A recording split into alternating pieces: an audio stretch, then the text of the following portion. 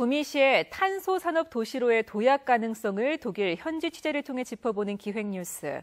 오늘은 세 번째 순서로 구미시가 독일 탄소 산업 연구소와 탄소 소재 개발에 협력하기로 했다는 소식을 한태연 기자가 전해드립니다.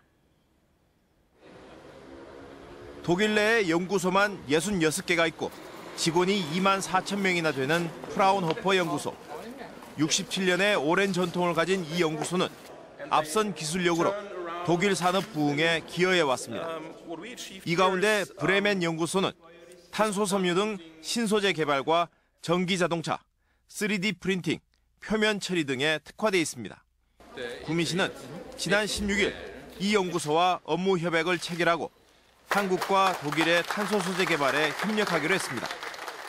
대학들 그리고 또 산자부와 협조를 해서 중앙 정부를 이 프로젝트에 같이 협조를 함으로 해서 많은 재정적 뒷받침과 또 학술적인 그런 뒷받침을 이끌어낼 수 있다고 봅니다.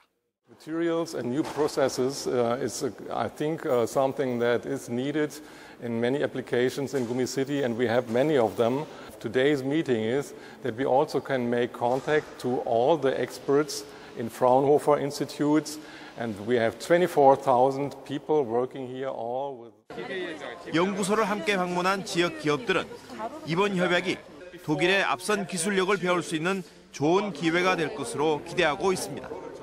중소기업에서 가장 약한 부분이 사실 이제 R&D 부분인데 아마 이번에 이런 뭐 MOU를 체결함으로써 상당히 우리가 그 선진 기술인 독일의 선진 기술을 받아들여서 아마 상당히 우리 기업 활동에 도움이 된다고 저는 판단하고 있습니다. 독일 기업들과의 교류, 사무소 개소, 그리고 연구기관과의 MOU 체결 등 구미 시의 탄소 산업 발전을 위한 이런 성과들이 과연 결실을 맺을지 기대가 되고 있습니다. 브레멘에서 MBC 뉴스 한태현입니다.